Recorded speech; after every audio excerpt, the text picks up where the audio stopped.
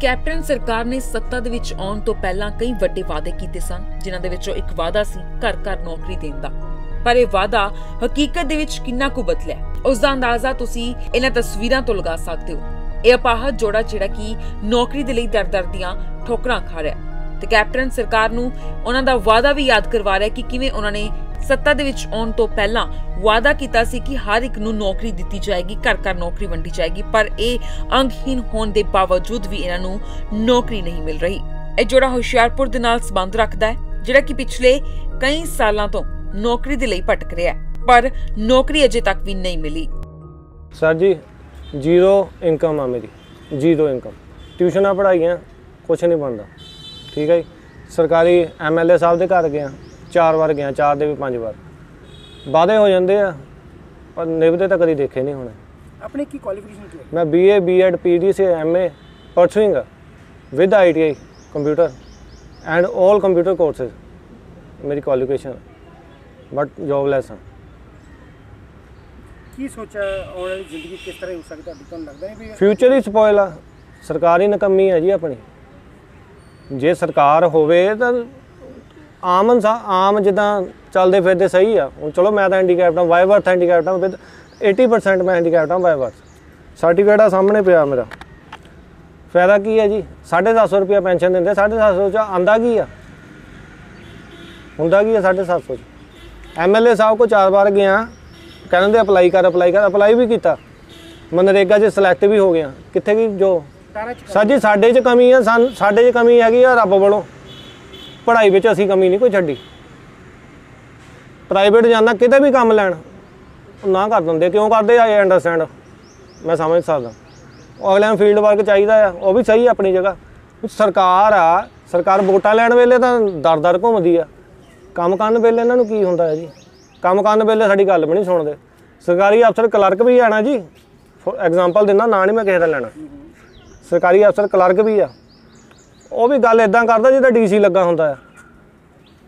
ਇੱਕ ਆਪਾਂ ਨਾਂ ਲੈ ਕੇ ਗਏ ਦਾ ਸੀ ਕਿ ਸਾਨੂੰ ਤਾਂ ਰੋਜ਼ਗਾਰ ਚਾਹੀਦਾ ਜੀ ਸਾਡੀ ਸਟੱਡੀ ਦੇ ਅਕੋਰਡਿੰਗ ਸਾਨੂੰ ਸਾਡਾ ਬਣਦਾ ਹੱਕ ਦਿੱਤਾ ਜਾਵੇ।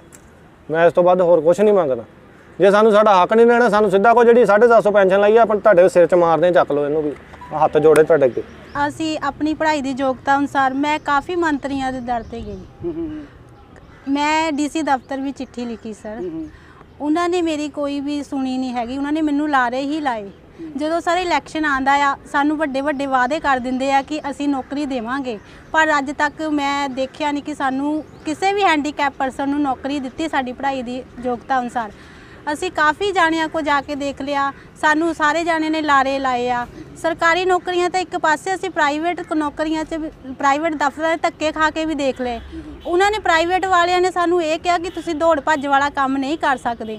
ਅਸੀਂ ਸਰਕਾਰ ਨੂੰ ਇਹ ਕਹਿਣਾ ਚਾਹੁੰਦੇ ਹਾਂ ਕਿ ਸਰਕਾਰ ਤੁਸੀਂ ਜਦੋਂ ਨੌਕਰੀ, ਜਦੋਂ ਵੋਟਾਂ ਲੈਣ ਆ ਜਾਂਦੇ ਹੋ, ਤੁਸੀਂ ਕਦੀ ਵੀ ਹੈਂਡੀਕੈਪ ਪਰਸਨ ਬਾਰੇ ਪਹਿਲੀ ਗੱਲ ਮੈਂ ਸਪੀਚ ਨਹੀਂ ਸੁਣੀ ਕਿ ਅਸੀਂ ਹੈਂਡੀਕੈਪ ਪਰਸਨ ਨੂੰ ਨੌਕਰੀ ਦੇਵਾਂਗੇ।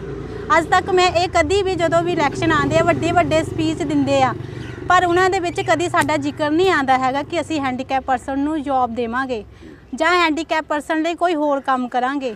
ਵੱਡੇ ਵੱਡੇ ਵਾਅਦੇ ਕਰਕੇ ਚਲ ਜਾਂਦੇ ਆ। ਸਾਨੂੰ, ਅਸੀਂ ਨੌਕਰੀ ਅਪਲਾਈ ਕਰਦੇ ਆ ਆਪਣੇ ਪੜ੍ਹਾਈ ਦੇ ਯੋਗਤਾ ਅਨੁਸਾਰ ਸਾਨੂੰ ਕੋਈ ਰਿਸਪੌਂਸ ਹੀ ਨਹੀਂ ਆਉਂਦਾ। ਸਰ ਦੇਖੋ, ਕੈਪਟਨ ਸਰਕਾਰ ਆਈ ਨੂੰ 4.5 ਸਾਲ ਹੋ ਗਏ ਨੇ। ਸਾਢੇ ਚਾਰ ਸਾਲ ਦੇ ਵਿੱਚ ਉਹਨਾਂ ਨੇ ਵਾਅਦਾ ਕੀਤਾ ਸੀਗਾ ਕਿ ਅਸੀਂ ਸ਼ੁਰੂਆਤ ਦੇ ਵਿੱਚ ਉਹਨਾਂ ਨੇ ਵਾਅਦਾ ਕੀਤਾ ਸੀ ਕਿ ਅਸੀਂ ਘਰ ਘਰ ਨੌਕਰੀ ਦੇਵਾਂਗੇ। ਸਰ ਉਹਨਾਂ ਨੇ ਅੱਜ ਤੱਕ ਹੈਂਡੀਕੈਪ ਪਰਸਨ ਨੂੰ ਨੌਕਰੀ ਨਹੀਂ ਦਿੱਤੀ ਤਾਂ ਉਹ ਨਾਰਮਲ ਇਨਸਾਨ ਨੂੰ ਕੀ ਦੇਣਗੇ? ਚਲੋ ਨਾਰਮਲ ਇਨਸਾਨ ਤਾਂ ਪ੍ਰਾਈਵੇਟ ਵਿੱਚ ਵੀ ਜਾ ਕੇ ਆਪਣਾ ਕੰਮ ਕਰ ਕਰ ਸਕਦਾ ਆ। ਆਪਣਾ ਕੋਈ ਕਾਰੋਬਾਰ ਕਰ ਸਕਦਾ ਦੇਸ਼ਾਂ ਪ੍ਰਦੇਸ਼ਾਂ 'ਚ ਜਾ ਸਕਦਾ। ਪਰ ਹੈਂਡੀਕੈਪ ਪਰਸਨ ਕਿੱਥੇ ਜਾਵੇ? ਨਾ ਤਾਂ ਉਹ ਪ੍ਰਾਈਵੇਟ ਵਾਲੇ ਸਾਨੂੰ ਝੱਲਦੇ ਆ ਨਾ ਹੀ ਸਾਨੂੰ ਕੋਈ ਦੇਸ਼ ਵਿਦੇਸ਼ ਵਾਲੇ ਝੱਲ ਸਕਦੇ ਆ। ਅੱਜ ਤੱਕ ਹੁਣ ਵੇਖਣਾ ਹੋਏਗਾ ਕਿ ਪੰਜਾਬ ਸਰਕਾਰ ਦਾ ਕਾਰਜਕਾਲ ਤਾਂ ਪੂਰਾ ਹੋਣ ਵਾਲਾ ਹੈ ਕਿ ਇਸ ਦੇ ਵਿਚਕਾਰੇ ਵਾਅਦੇ ਪੂਰੇ ਹੁੰਦੇ ਨੇ। ਹੁਸ਼ਿਆਰਪੁਰ ਤੋਂ ਅਮਰੀਕ ਦੀ ਰਿਪੋਰਟ ਸਕਾਈ ਨਿਊਜ਼ ਪੰਜਾਬ। ਜੇ ਤੁਸੀਂ ਐਕਸਪ੍ਰੈਸ ਐਂਟਰੀ ਦੇ ਵਿੱਚ ਜਾਂ ਪੀਐਨਪੀ ਦੇ ਥਰੂ ਜਾਂ ਐਲਐਮਆਈਏ ਦੇ ਥਰੂ ਜਾਂ ਜੌਬ ਆਫਰ ਦੇ ਥਰੂ ਜਾ ਕੇ ਪੱਕੇ ਤੌਰ ਤੇ ਸੈਟਲ ਹੋਣਾ ਚਾਹੁੰਦੇ ਹੋ, ਜਾਂ ਤੁਸੀਂ ਸਟੂਡੈਂਟ ਵੀਜ਼ਾ ਤੇ ਕੈਨੇਡਾ ਜਾਂ ਆਸਟ੍ਰੇਲੀਆ ਸਕਾਲਰਸ਼ਿਪ ਦੇ ਨਾਲ ਘੱਟ ਫੀਸ ਤੇ ਤੁਹਾਡੇ ਐਜੂਕੇਸ਼ਨ 'ਚ ਗੈਪ ਹੈ ਤੇ ਤੁਸੀਂ ਪੜ੍ਹ ਕੇ ਜੇ ਸੈਟਲ ਹੋਣ ਦਾ ਸੁਪਨਾ ਪੂਰਾ ਕਰਨਾ ਚਾਹੁੰਦੇ ਹੋ, ਤੁਸੀਂ ਹੇਠ ਲਿਖੇ ਨੰਬਰਾਂ ਤੇ ਕਾਲ ਕਰ ਸਕਦੇ ਹੋ। ਸਤਿ ਸ਼੍ਰੀ ਅਕਾਲ। ਖਬਰ ਦੀ ਤਾਜ਼ਾ ਅਪਡੇਟ ਦੇ ਲਈ ਸਾਡੇ YouTube ਚੈਨਲ ਨੂੰ ਸਬਸਕ੍ਰਾਈਬ ਕਰੋ, Facebook ਚੈਨਲ ਨੂੰ ਲਾਈਕ ਅਤੇ ਸ਼ੇਅਰ ਕਰੋ।